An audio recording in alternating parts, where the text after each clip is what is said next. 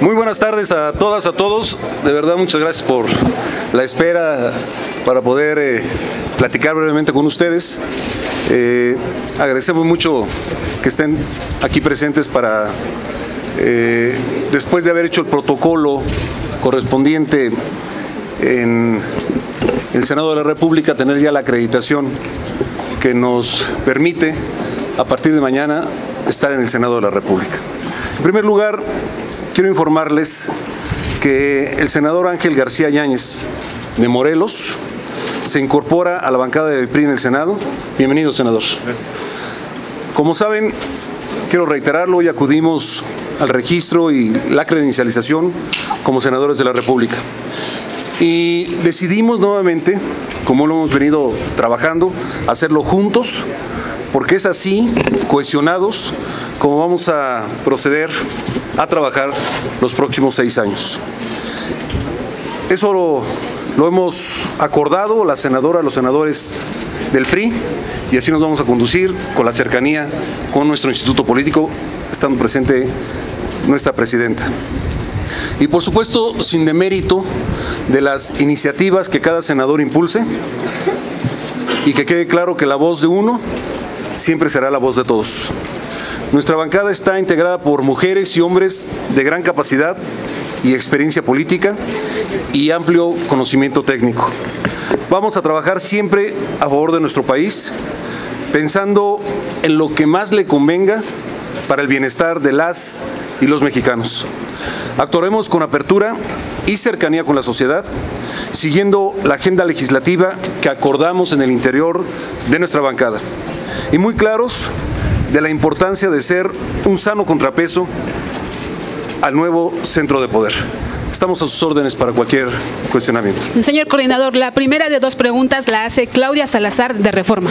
Está Claudia. Buenas tardes. Eh, para preguntarles eh, varias cositas. Eh, ya Morena se ha manifestado que podría tener la presidencia de la mesa y, la presidencia de la Junta de Coordinación Política.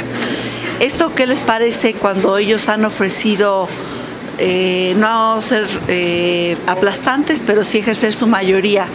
Pero ya vienen por, por todo, parece ser.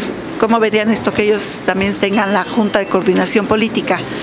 Eh, también preguntarles qué va a pasar con este senador Noé Castañón que está detenido por un problema de acusación de violación, digo, de violencia familiar. Eh, cómo impacta esto en el grupo, jurídicamente también qué sucede con este tema. Y, Dijiste eh, dos, Claudia. No. es cierto. Son dos, pero con otro compañero. Y eh, también sobre el, fin de la negociación del acuerdo de libre comercio, cómo lo, está viendo el PRI y si ya se tendría que firmar inmediatamente, aún si estuviera excluido Canadá. Iniciaría por eh, no lo hice al principio, con la incorporación de nuestro compañero senador, vamos a ser 15 los integrantes de esta fracción eh, del PRI en el Senado de la República. Eh, tenemos conocimiento del caso de nuestro compañero Noé Castañón, hemos estado en comunicación todo el día de ayer y por supuesto hoy, y vamos a estar muy atentos al proceso y al desahogo del mismo. Eh, no contamos todavía con elementos para pronunciarnos a fondo sobre el asunto, pero estamos pidiendo que se respeten sus derechos y las garantías que le marca la ley. Lo que sí les eh, puedo decir es que sería lamentable, esperamos que así no suceda, que se tratara de un acto con fines políticos. Eh, respecto al tema de la presidencia, de la Junta de Coordinación, bueno, nos enteramos por los medios en primer lugar, por lo que leemos en las reuniones que ellos han tenido. Eh, yo espero que sean congruentes con lo que han venido también comentando de eh, enseñar el lado demócrata. Eso quiere decir buscar acuerdos, buscar soluciones conjuntas a los problemas que tiene este país y esto se hace desde aquí, desde el Congreso de la Unión. Entonces, eh, sobre la presidencia y la Junta de Coordinación, hemos ya iniciado algunas pláticas. Ellos, eh, por supuesto, tienen mayoría para tener todas las posiciones. Esperamos que en los acuerdos que estamos ya construyendo se pueda hacer una eh, mesa directiva que tenga la pluralidad que representa el Senado de la República y por supuesto nuestra participación en la Junta de Coordinación.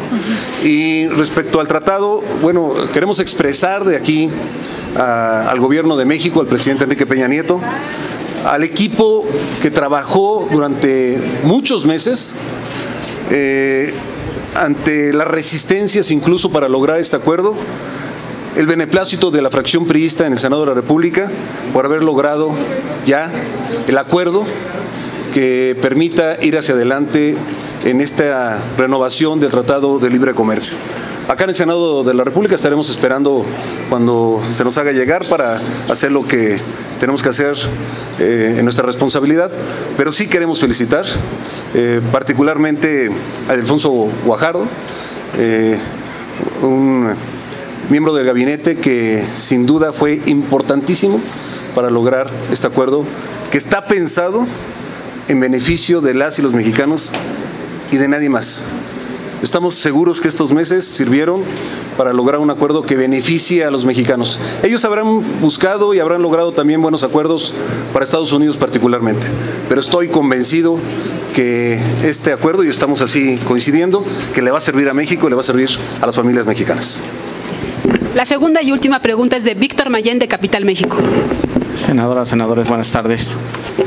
Eh, como parte de esta reinvención que tienen que hacer de su partido después de los resultados electorales pasados, ¿ustedes harán eco a esta sugerencia del presidente Enrique Peña Nieto de que para que el PRI pueda reinventarse tendría necesariamente que cambiarle el nombre porque está asociado a, a muchos vicios del pasado?